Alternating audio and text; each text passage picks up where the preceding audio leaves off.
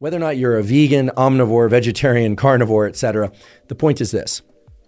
Your ability to focus, and in fact, your ability of neurons to encode specific information in your environment, that is, to represent what's out there in the world, is actually related to your blood glucose level.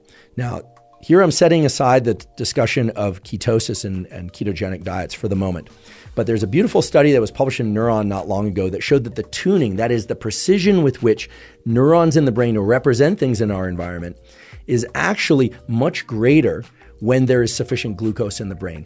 Translated into English, this means that when we are fasted or when our blood glucose is very low, we aren't able to perceive and think about things as clearly. Now, there's a twist to this, however. Intermittent fasting has a lot of different potential benefits. For some people, it's a convenient way to restrict their calories. For other people, it's a convenient way to avoid eating. That is, it's easier to not eat than to eat a small portion, so they opt for intermittent fasting, and so on and so forth. But one of the things that you hear very often is that some people like being fasted because they like the clarity of mind that it provides. Here's the situation neurons, unless you're in a ketogenic diet, really thrive on glucose. They love glucose. And as I mentioned before, your ability to think and perceive things is actually enhanced by having sufficient glucose in your bloodstream. So, why would it be that some people experience a heightened state of mental clarity when they are fasted? I've certainly experienced that before. Well, I should say that provided you're well hydrated enough and you have enough electrolytes in your system, what tends to happen is that when you ingest food there's a shift in your nervous system towards so called parasympathetic mode. That is, the more relaxed, you probably heard it as rest and digest, although it does other things, a more relaxed mode that can indeed make us very sleepy. If we have too many carbohydrates, it actually can make us quite sleepy.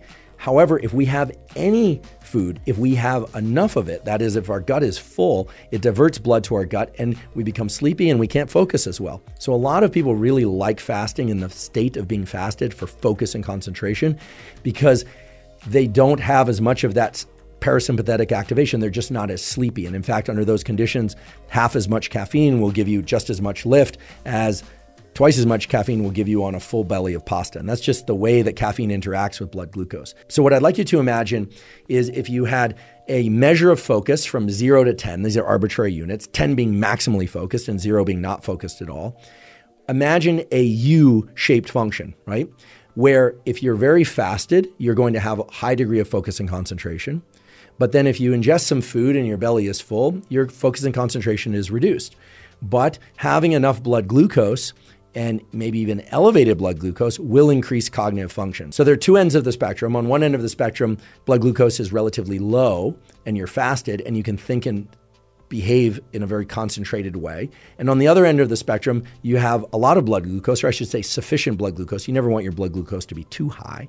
And that allows your neurons to encode and perceive and basically allow you to think really clearly. So you sort of have to pick your condition. What do you want for your bouts of focus and concentration?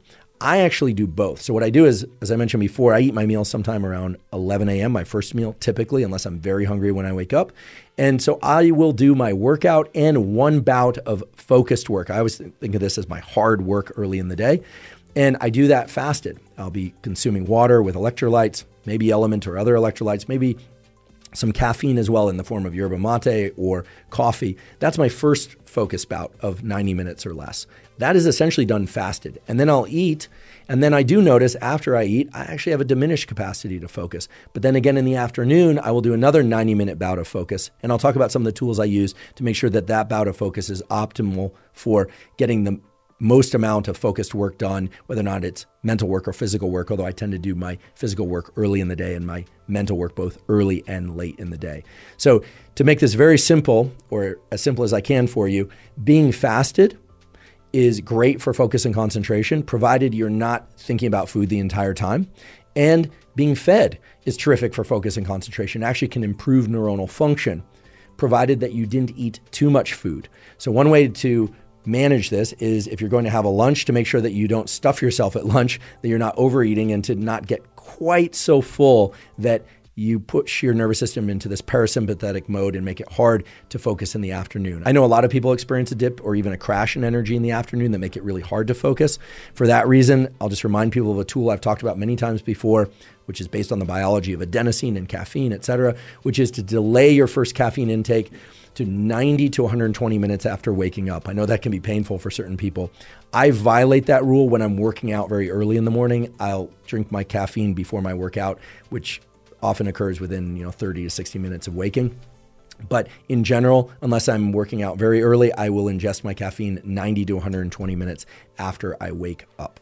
So, again, I want to emphasize that if you hear somebody out there say being fasted is optimal for focus and concentration, well, that is true in one context and perhaps ideal for a certain part of the day. And other people will say, no, you know, neurons run on glucose. You need glucose in your bloodstream in order to get those neurons to be tuned. That is, to respond with electrical activity in the optimal way when you're reading something or when you're trying to perform exercise. Well, that's also true. And of course, you can incorporate both. I in fact, as I just described, incorporate both fasted states and fed states in order to optimize my concentration and focus.